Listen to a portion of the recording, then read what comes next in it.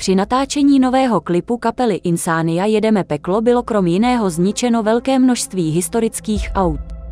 Většina z nich pocházela z 50. let, z takzvané Elvisovské éry. Furianství kapely Insania zde dosáhlo vrcholu, protože pro často jediný záběr bylo utraceno, pardon, zničeno auto nesmírné technické a historické hodnoty. Posuďte sami. Cadillac Fleetwood, historický kus, rok 1959. Cadillac Eldorado, rok 1955. Ford Falcon, rok 1974. Chevrolet Bel Air, rok 1956.